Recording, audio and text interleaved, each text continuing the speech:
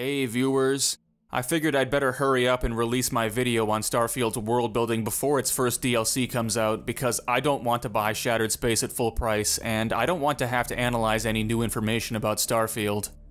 Originally, I wanted to make an hour long video and really tear its universe apart in depth, but that's simply too much effort and time that this game doesn't deserve. Instead, I'm going to hammer home three key points. I started with four, but I had to cut one for time and I'll leave the detailed analysis to others who have more patience than I do.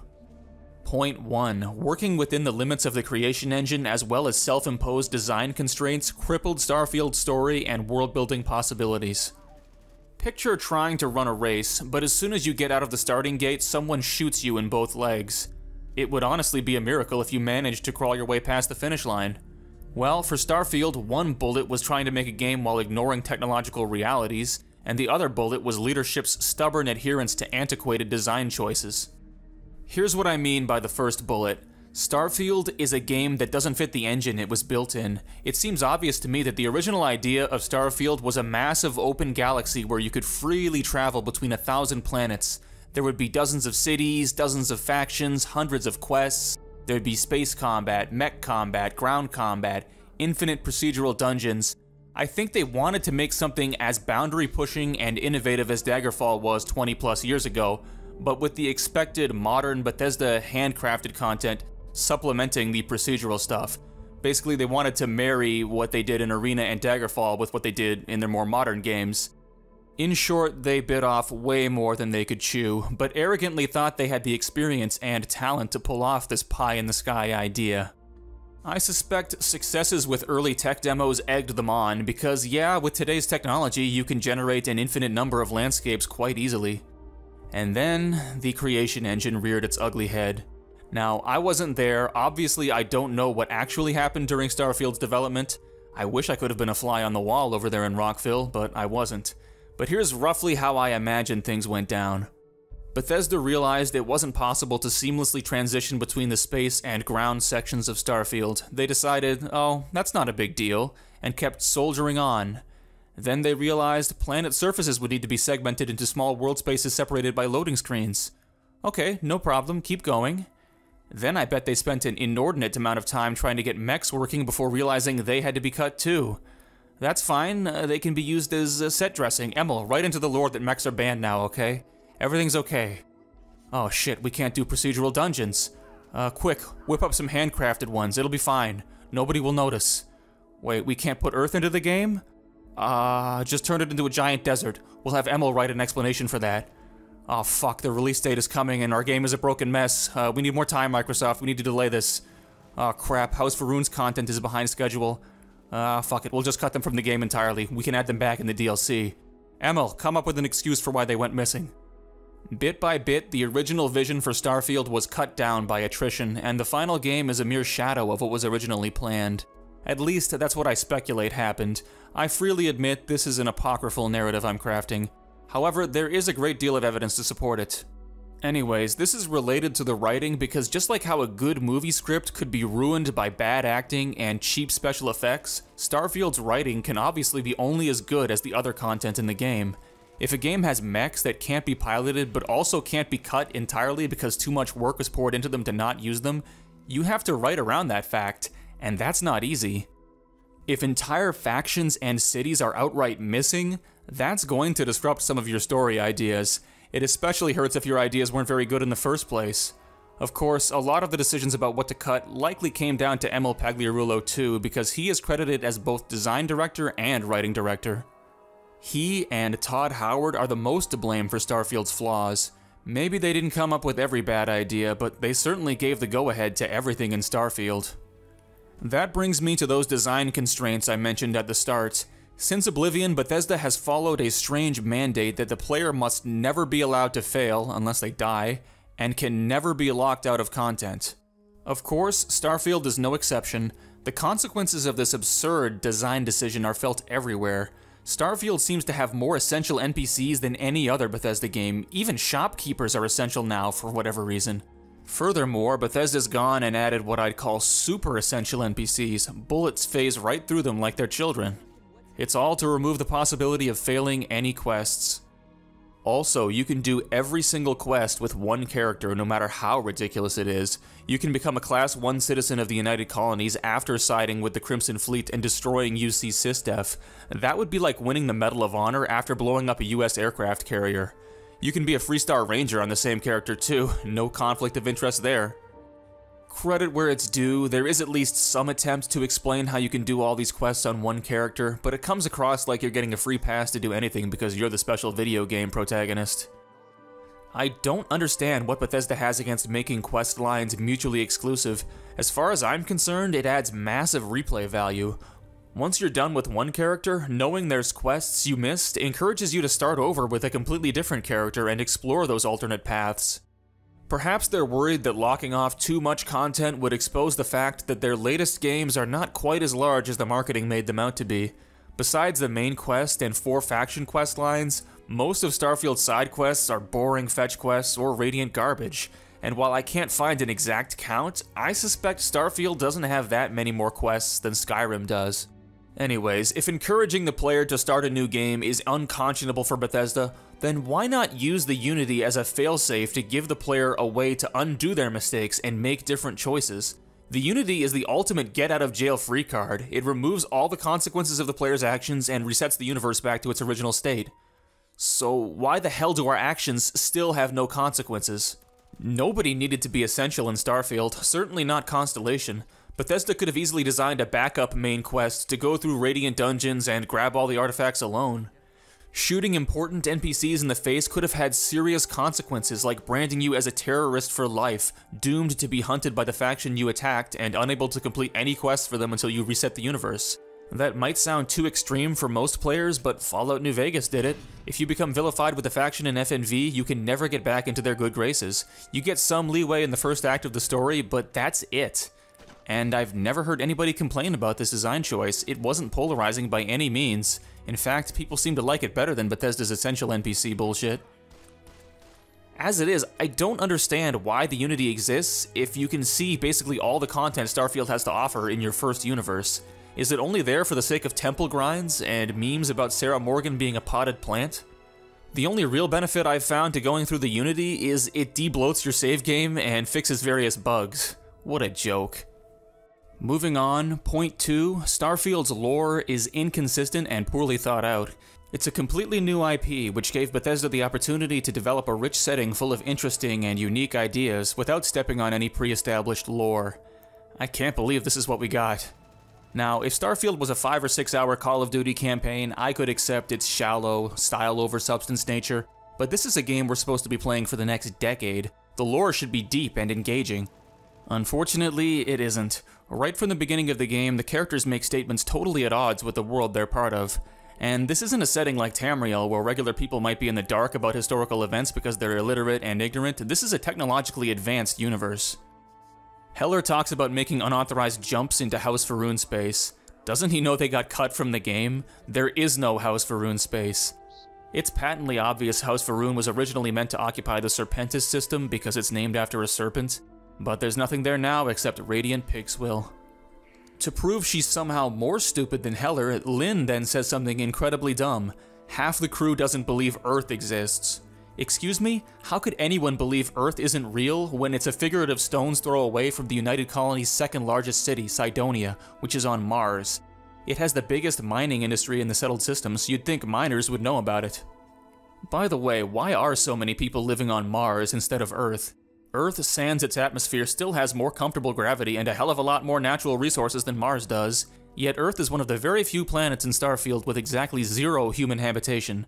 As you might expect, the game makes no attempt to explain this.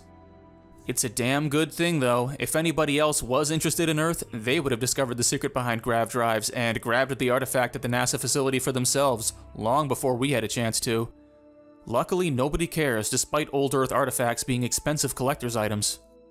It's crazy to me that thanks to the Radiant POI system, there are more people living on Venus than on Earth. To take Starfield seriously, you basically have to treat its Radiant locations as non-canon, but then what you have left is a handful of tiny cities and infinite expanses of nothing. It makes it seem like humanity is nearly extinct because there can't be more than a few thousand people living in each of these cities. Where'd everyone go? Mankind has been living in space for nearly two centuries. Even if only a billion people survived that nasty business back on Earth, one would think there would be 10 billion or more humans by now, given a galaxy with dozens of Earth like planets and near infinite resources. Humans should be breeding like rats in a cheese factory, but for some unexplained reason, they aren't. Regardless of population size, why is anyone living in squalor in the well under New Atlantis when 99.9% of Jemison is untouched prime real estate ripe for expansion? Obviously, the real reason is because it's not possible to make a video game with realistically sized cities, but it is possible to make realistically sized planets as long as they have nothing interesting on them. I've already explained in prior videos why this was a stupid idea, so I won't rehash that. Instead, let's return to the NASA launch facility, which is full of props still being used in buildings nearly 200 years after the facility was abandoned. Other locations separated from human civilization for centuries look basically the same as anywhere else, too. The generation ship ECS Constant could easily pass for a more modern ship design. Would it have killed Bethesda to make some unique art assets for these pre Exodus locations? They did it for weapons, but basically nothing else. All working computers, regardless of their age, have the exact same Starware hardware and operating system. Apparently, there's been no progress in personal computing for two centuries.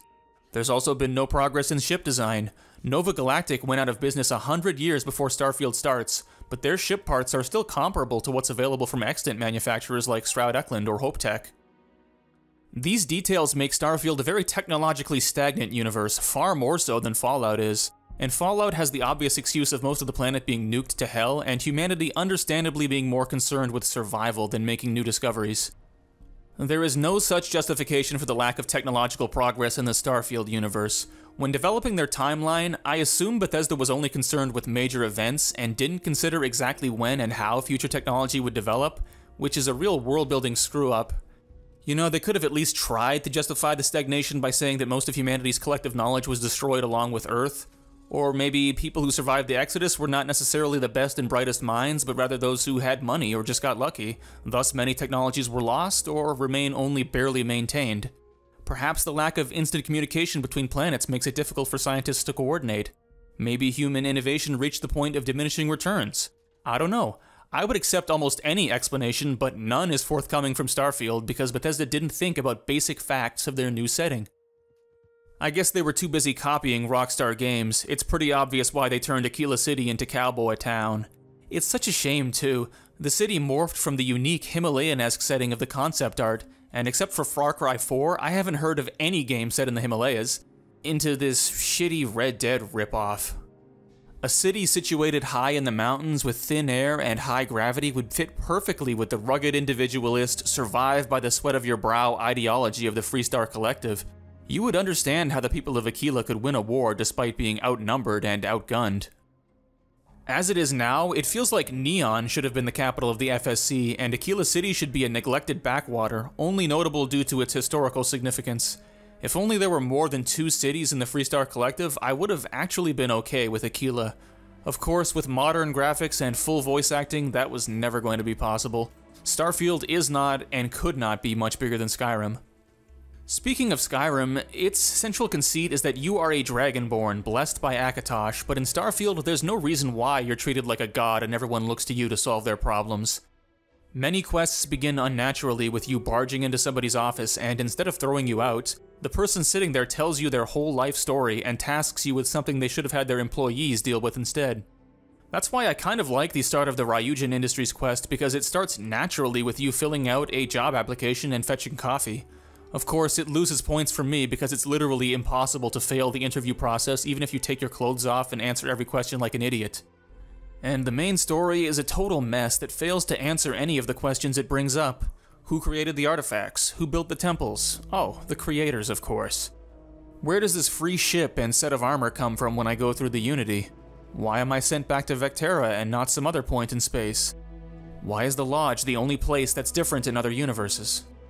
No answers, just do the whole game over again, this time with Starborn checks to skip a few things. Sorry Bethesda, but your game is barely tolerable enough for a single playthrough, let alone multiple. It would have been cool if the hunt for the artifacts and temples turned out to be a game designed by some cosmic beings that want to see humans fight and kill each other for their own amusement. Or maybe the Unity is a way to distract and cull humanity so we don't get too powerful. That would be interesting, but like any good idea, it's nowhere to be found in Starfield. There's no way to call out the loop after going through it a few times. So much missed potential everywhere you look. Alright, point number three. Starfield is a sterile, bland game that says nothing, lest it offend somebody.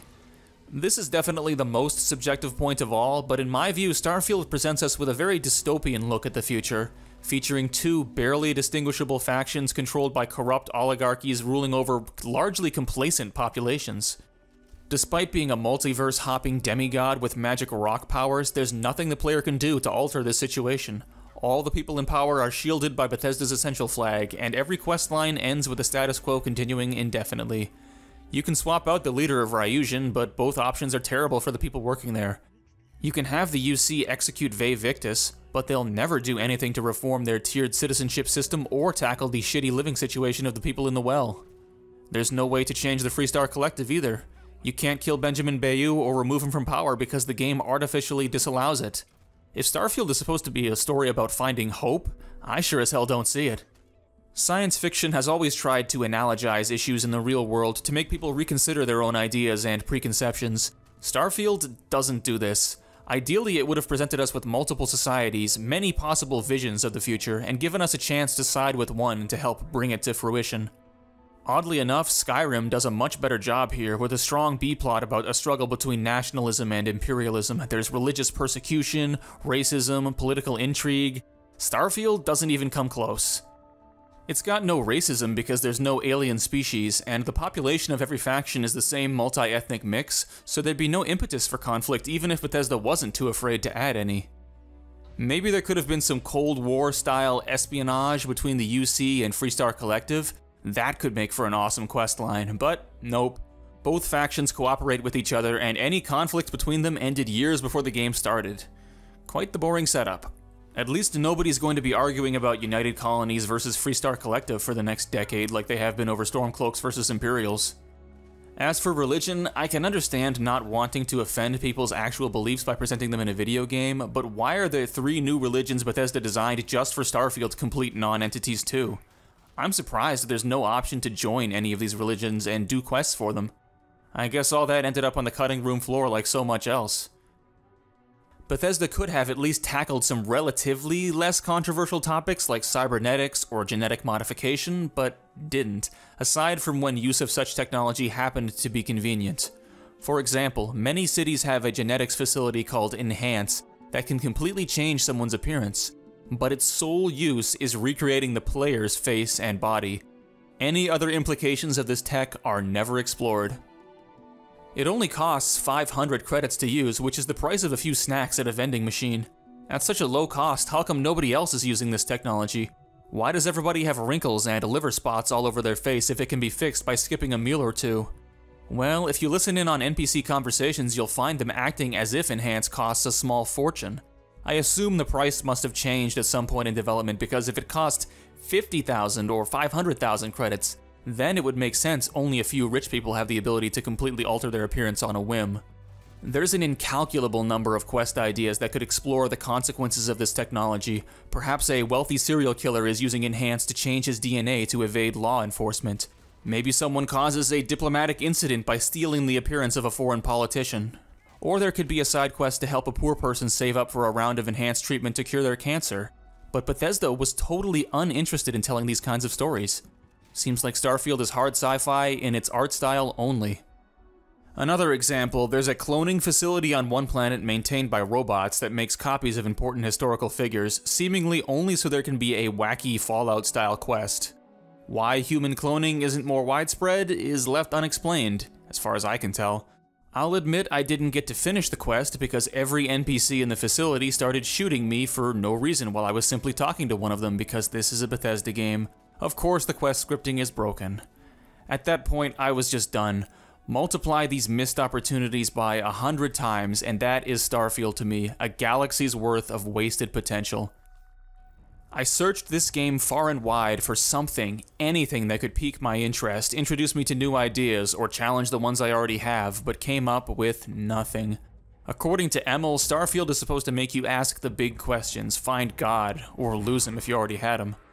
The only faith I lost, though, is faith in Bethesda ever making a decent game again.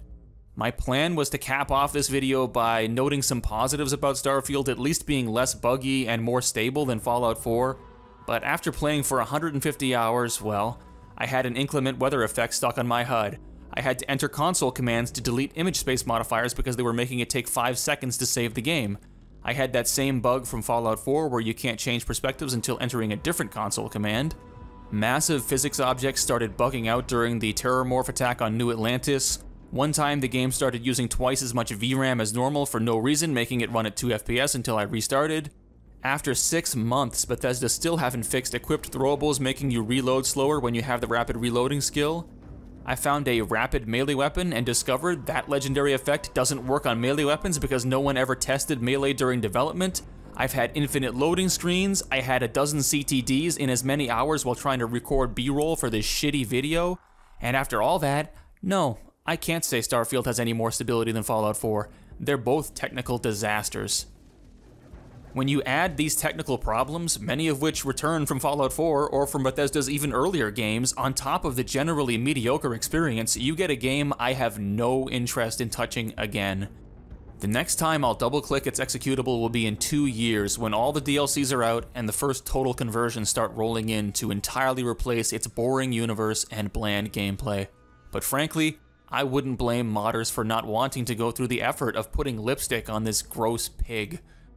I'm done with Starfield, I'm not making any more videos about it, and I won't cover any mods for it either, not for a long while. I'll stick with Fallout 4, occasionally review some New Vegas mods, and perhaps finally start covering Skyrim mods like I promised. That's my plan for the near future. Hope you enjoyed this video, and uh, yeah, toodles everybody.